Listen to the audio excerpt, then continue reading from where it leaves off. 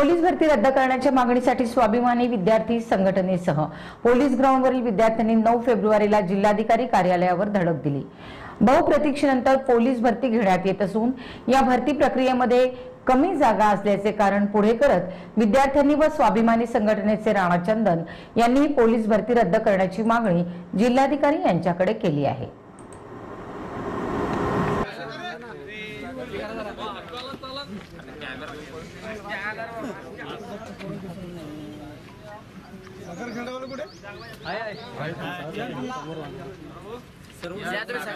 आम्ही सर्व विद्यार्थी पोलीस भरती तयारी करत आहे.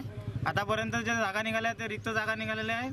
आणि आठ लाख विद्यार्थी तयारी करत आहे आणि चारच हजार जागा काढलेल्या आहेत त्यांनी त्यामुळे सर्व विद्यार्थी नाराज झालेले आहेत. त्यां- शासनावर त्यांचा रोष आहे. या सरकारनं जे आश्वासन दिलेलं होतं की बा पोलीस भरतीची जी भरतीची प्रक्रिया जी आहे तर ही बारा हजार निघण्या निघेल. पण ही जी आता चार हजार निघली यामध्ये जे गोरगरीब येतं या गोरगरिबाचं फार नुकसान आहे. गो- जे गोरगरीब गो गोरगरिबाची जे मुलं आहेत त्यांचं फार नुकसान आहे. आणि या नुकसानामुळं अं, त्यांचं जे खर्च आहे हे भागत नाही आणि ही जी भर- पोलीस भरतीचे जे अ, मैदानामध्ये प्रॅक्टिस करत आहेत ते सर्व विद्यार्थी आज या जिल्हाधिकारी कार्यालयावर आलेले आहे या विद्यार्थी पोलीस भरतीच्या विद्यार्थ्यांची एकच मागणी अशी आहे की आत्ता नुकतीच जी भरती प्रशा सरकारने काढलेली आहे.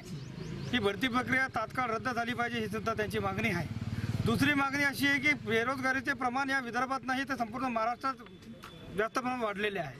जर त्यांना न्याय मिळाला नाही तर पंधरा तारखेपासून सात दिवसाच्या आम्ही जी कालावधी दिलेला आहे ते सात दिवस आम्ही च्या अगोदरचा अहवाल आमच्यापर्यंत कुठली कॉपी सरकारची आली नाही.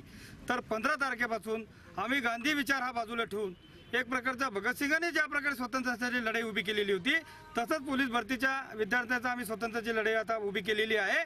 आणि पंधरा तारखेपासून अन्नत्याग आंदोलन जिल्हाधिकारी कार्यासमोर बेमुदत उपोषण आम्ही पोलीस भरतीच्या विद्यार्थ्यांच्या प्रश्नावर स्वतः राणा चंदन स्वाभिमानी शेतकरी संघटनेचा मी कार्यकर्ता म्हणून यांना न्याय देण्यासाठी बेमुदत उपोषण मी बसतो